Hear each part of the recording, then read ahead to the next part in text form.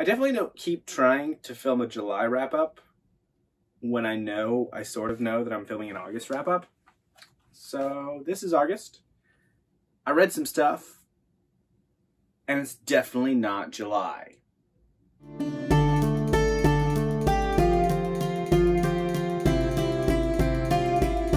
Good afternoon, good morning, wherever you are. Hi, I'm Pete.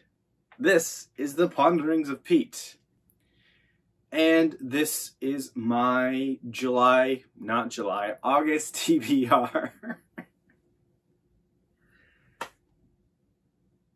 Welcome to the chaos and poor memory? No, just time. Time is elusive.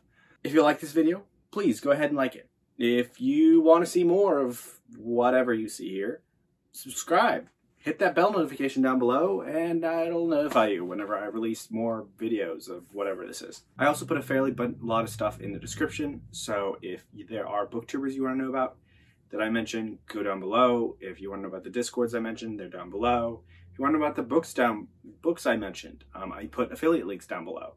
So if you want to go ahead and, and buy one, guess what? I get a little bit of the profit because um, that's how affiliate links work. So Yay for house fund for me. Without further ado, as everybody else says, we shall get into it.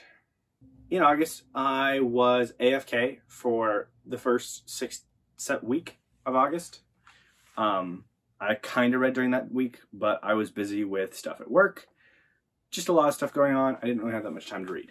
But I read a total of seven books. Yeah, seven books in August, which was, you know, an accomplishment for just what I was. I think I had like 10 days left and I had four of those left. So I'm kind of proud of myself that I just read a bunch of books in a row.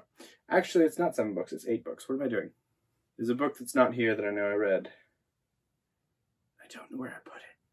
Let's start with two. I read, these were my bookends of the month. I read the first one at the beginning, the first one, the second one at the end. The first is Dragons of Winter Night Boom, boom, by Margaret Weis and Tracy Hickman.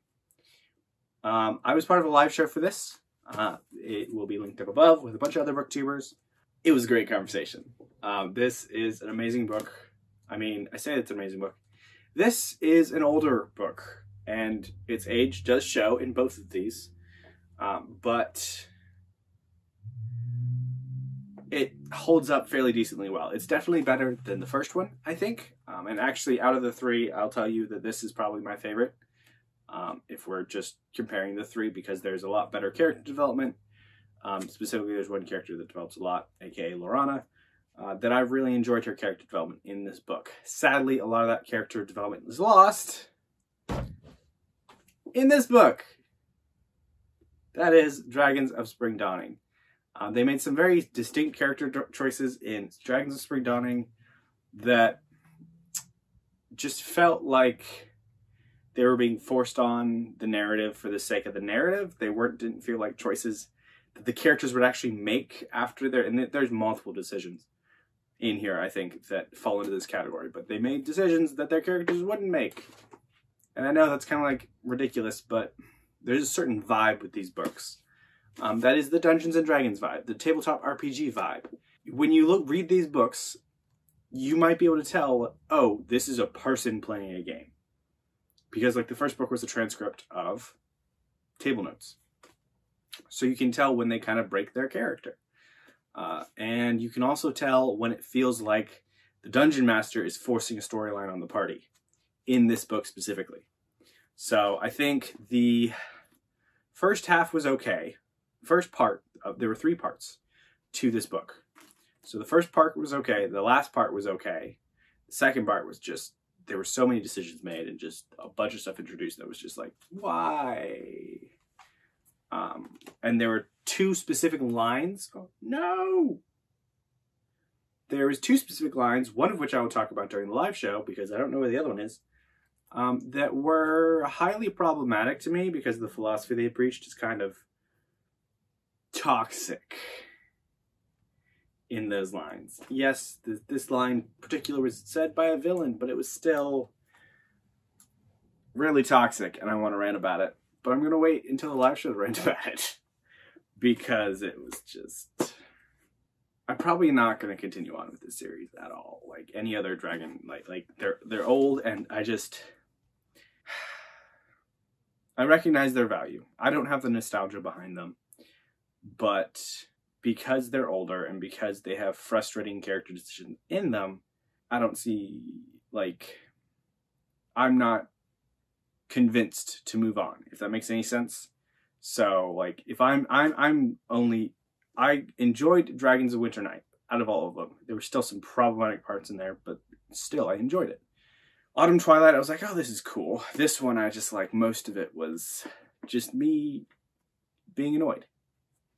So I may just not continue with the with any more Dragonlance books because even though they might be better, I want to move on to books that I'm going to definitely enjoy, if that makes any sense. So it was an interesting experiment, and I honestly only intended to read the first three anyways, um, just because I wanted to get a sense of the Dragonlance series, and people said that this was quintessential Dragonlance, so I read it. I may read more Tracy Weis and Margaret Margaret Weis and Tracy Hickman uh, because I do have the Deathgate cycle um, and obtaining obtaining the rest of them, but I just won't be continuing on with the Dragonlance. Next one, get on, going on a better note, is self-published, which is great. Undeath and Taxes, book two in the Fred the Vampire Accountant series. This was just as good as the first one. Very short, episodic type of narrative told from the first person memoir format. It's really funny. A lot of accounting jokes, business jokes. And one of my favorite characters, who is not a person, was introduced in this book. She is great and she is amazing. Um, I can't, I, I would love to say why she's amazing and why she's awesome, my favorite character in the series so far. Um, but Found Family, yeah, um, check this out. Lots of Found Family and it's, you know, urban fantasy, just to clarify this. Fred the Vampire Accountant. It's great. Um, very funny. So this is the last book that I read. Um, in order, this is not the last one I'm going to talk about. I still have three more to talk about after this. This is a book that was very, very hyped on YouTube, on BookTube. And I was kind of like, I'm going to read it, but I was very unsure of myself or not unsure of myself, but unsure of the book because I wasn't sure if it was gonna live up to the hype because I hadn't really heard that much criticism about it. Um, but I am pleased to announce that it did live up to the hype and it was really good. That's Senlin Ascends by Josiah Bancroft. This was actually originally self-published before the first two books were. And then after the second book is when it was picked up by Orbit, which they've done with a few different authors. Like this one, um, the guy who wrote Dragon Vengeance, Fires of Vengeance, and Rage of Dragons, um, Evan Winter. He also did the same route where he did was successful as self-publishing, and then I believe it was Orbit was the one that picked him up, which was really cool. It's really cool to see that as a possibility in the self-published industry, though. It is very, I, I do feel like it is few and far between for self-published authors. Anyways, Senlin Ascends. What did I got this? This was a cynical Alice in Wonderland tale um, that tied together a lot better and more directly than Alice in Wonderland did. Um, you could argue that Alice in Wonderland definitely ties everything together, but because everything's connected, because reasons, but this definitely is more overt about the connections that are in between things. I like this book so much, I'm going to talk about the structure of it eventually. Um, I have a video that I'm going to make that I'm really interested in making about just what this book does and why I think it's so good. I do know that in the second book, the narration and everything changes from the point of view of Senlin, roughly third person Senlin point of view, to, you know, multi POV, which is going to be interesting. Uh, but I think Josiah Bancroft did an excellent, wonderful, beautiful job in this book. So Senlin, our protagonist, is a school teacher that is going on his honeymoon. And he loses his wife. And they went to the Tower of Babel, um, which is a very, very, very, very tall tower with many, many, many levels. Um, but if this isn't just like, oh, there's one floor, like one level is probably seven to 10 stories high at the very least. Uh, and big enough to contain an entire kingdom in each level. They're called ringdoms and they're beautiful. They work together to do things and there's interesting things. There's actually slavery in this book as well, which is interesting. And knowing what I do, I know that that's going to be a topic that is tackled because this Senlin goes into this thing thinking that the tower is the pinnacle of human morality and the center of learning. Um, and he quickly realizes that all is not what he thought it was in the tower. Uh, so it's interesting to start with the, see the starting naivete that he has progressing to he, he makes better decisions by the end um, because he also knows a bit more by the end. He evolves with the tower, but he still is very stubborn about his beliefs, which is very interesting, um, and about his morality compared to the wishy-washiness of the tower. So I definitely think that this um, lived up to all the hype. Uh, I can see some of the flaw after talking with some people. I think there are definitely some flaws in it, and the writing style, the the specific structure, actually, I think is what doesn't jive for a lot of people because a lot of people were like, you know, I I liked Senlin Ascends. It wasn't amazing, but it wasn't great. Um, but when they get to Arm of the Sphinx book two, they're like, oh my gosh, this is amazing. I think a lot of that has to do with either how the structure or how the narration changes. Um, that's another video that'd be interesting to do after I finished maybe the entire series. I don't know. Next one. This is another one I did a live show for, and that is the Communist Manifesto. Um, I did a live show on this with Gregory LaPerche and Christy Luis from Dostoevsky in Space. Uh, we talked a long while, and basically my conclusion was there wasn't a lot in here. There's a lot of general things. There's a call to action. There's a this is why these other socialists are wrong, but a lot of the intrinsic things that I know about communism were actually not in here. And I think they're actually in Das Kapital, which is his other, I believe it was unfinished at his death, um, but his unfinished work, uh, Marx's. Because I didn't really get to talk about those, a reading of Das Kapital is probably in order sometime next year or so. We shall see. But I really enjoyed talking with Christy and Greg about this. Uh, it was great to see other perspectives um, and just talk about some of the weird stuff that's in it uh, and some of the crazy stuff that he also called for. I thought it was very interesting.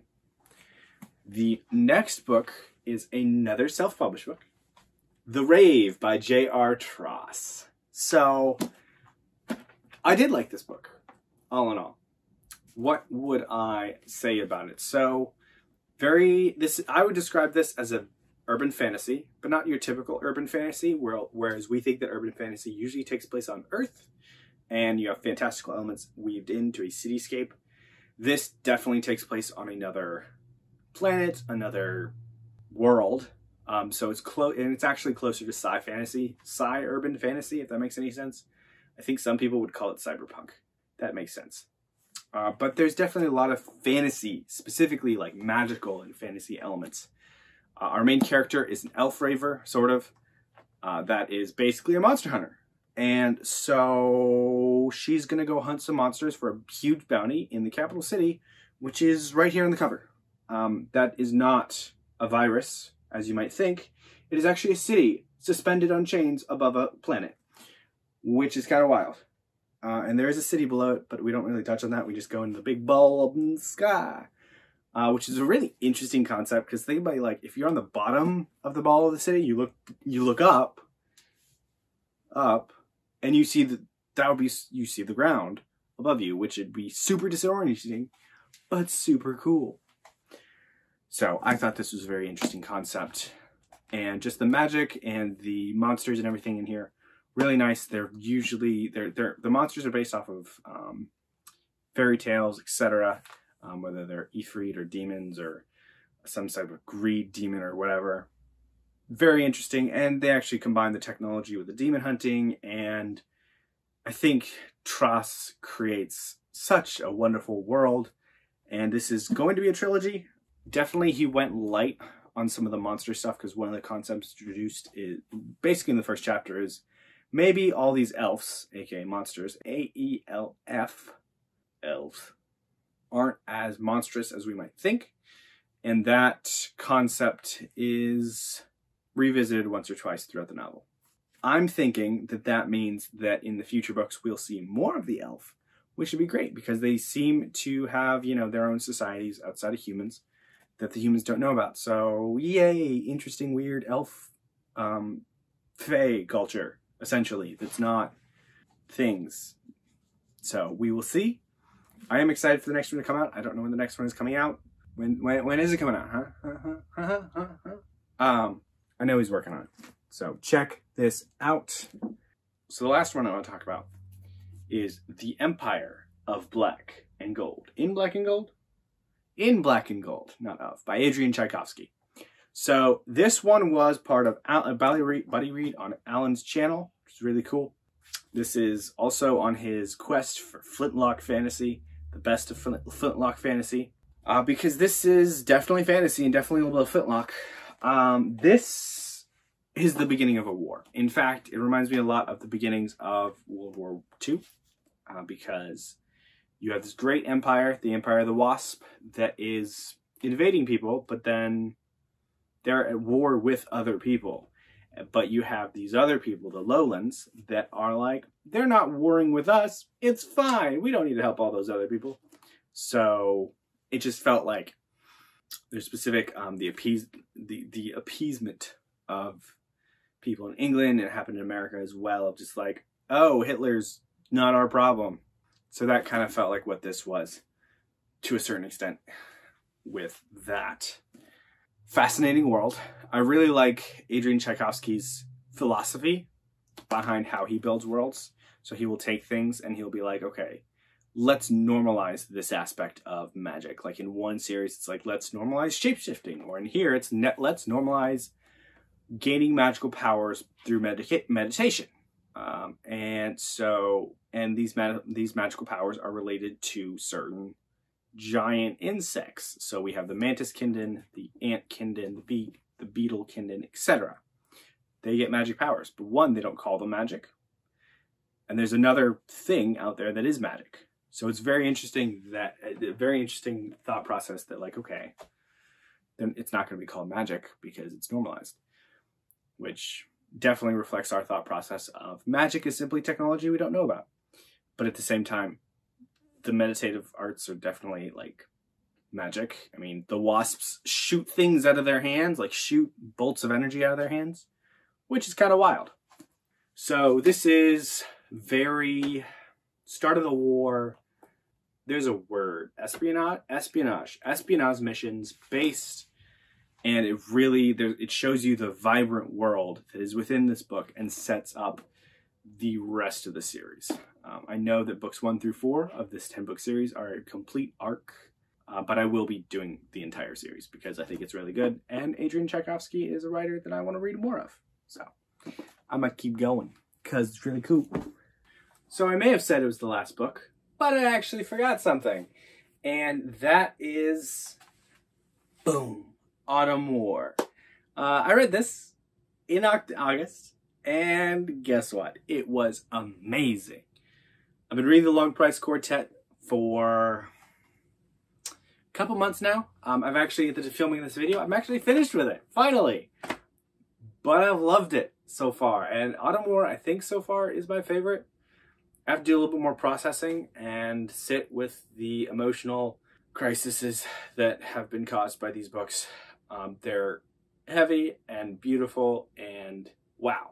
Um, this is probably the most action packed of the books, and that's not saying much. There isn't that much. There, there's some action. There's definitely more action than the other books. It's still definitely not an action focused book because of just the nature of how the plots work, how the author, Daniel Abraham, utilizes his characters and for character growth, etc. So, Long Price Quartet, we're gonna have a live show, or no, no, no, Autumn War, we already had a live show for. It was great. I talked with Allen from the Library of Allenxandria, Klaus from the Contradictorian, and Chayce from Chayce's Book Thoughts. We had a great time. Go check it out. Check out our thoughts on the Autumn War. So, yeah, that is everything. Uh, if you have read any of these books, let me know. Talk about them. What'd you think? Uh, did you hate them? Did you love them? Tell me. Uh, if you again, if you want to buy any of them, and you're convinced that you should buy any of them by my talking for some odd reason, check out the links below, um, and then those are the affiliate links.